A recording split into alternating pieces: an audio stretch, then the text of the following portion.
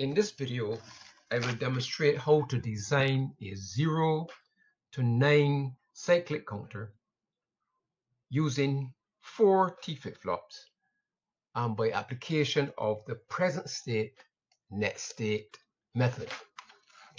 Looking at the table, we see that we have present state and a next state. Now, Q4, Q3, and Q, Q2, Q1 represents the output, the Q output of the four T flip-flops. Q1 being the least significant bit and Q4 being the most significant bit. Now, the, the normal binary count follows 0, 0, 0, 0, 0, 0, 0, 1, etc. all the way down to 1, 0, 0, 1. Note that to go from 0 to 1, we go from a present state of 0, 0, 0, 0 to the next state of 0, 0, 0, 1. Okay? And to go from 1 to 2, we go from a present state of 0, 0, 0, 1 to 0, 0, 1, 0.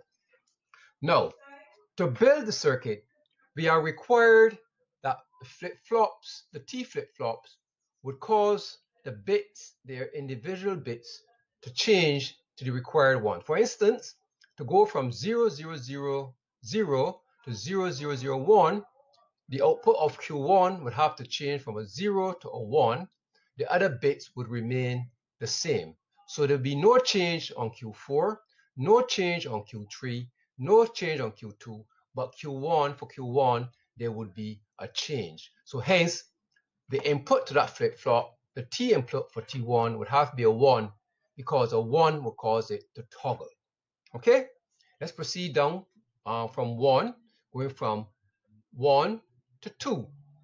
Okay, to go from 1, from 1 to 2, present state is 0, 0, 0, 1.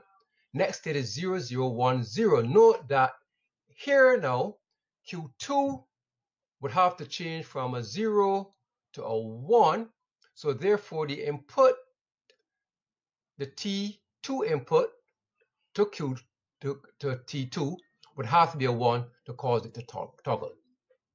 So you can follow the, the argument all the way through and see um, the bits that are required to change the, the, the T inputs that is required to change to cause the output of its respective flip-flop to toggle. Now note, we are counting from zero, we, we are designing, we are designing a zero to nine cyclic counter. So that means we are counting zero, one, two, three, four, five, six, seven, eight, nine, and we go back to zero.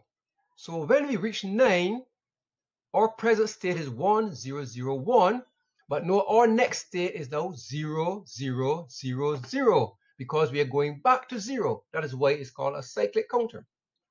Now note, for this change to occur, we have Q4 is at a 1 at 9, but it goes to a 0 for, um, for to go to the 0 state.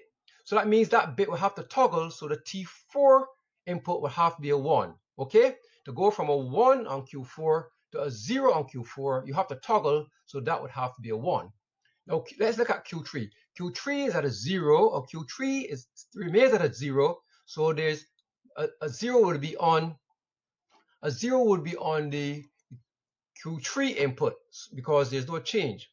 Okay, Q2, Q2 is at a 0, and the next state of Q2 would also be at a 0, so there'll be a 0 on Q2 because it is required to remain in the current state. And finally, Q1 is at a 1, okay, but the next state for Q1 will be at a 0, so a 1 would have to be on T1 to cause it to toggle. Note in the table that the present state is represented by Qs, and the next state is represented by Q dash, and the inputs for the flip-flops are, the T inputs are designated T4, T3, T2, and T1. Now, note that after they've reached nine, um, you the other states after nine would be don't cares because we are not going past nine. So these would be all don't cares. Now, if, if you remember from doing the Karnaugh mapping uh, for 16 combinations, right, which would be a 4x4 Karnaugh map, the, the don't care states help us to, to minimize our logic. So the next step in designing this cycle counter will be to create, um, use a Karnaugh map for each input. So you have a Karnaugh map for T4, enter all those entries into T4 and minimize it and you would get the logic for T4. You create a Karnaugh map for T3, do the same thing, find the logic for T3, and you do the same for T2 and T1. When you're finished, you would have four logic circuits that will be fed into the, the T inputs of each flip-flop.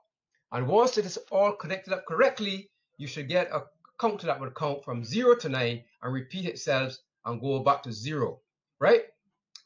Okay, that is that is um, in comparison to the straight um, straightforward counter that would go from 0 all the way from 9 and go to hex A, B, C, D, E, F and recycle back to 0.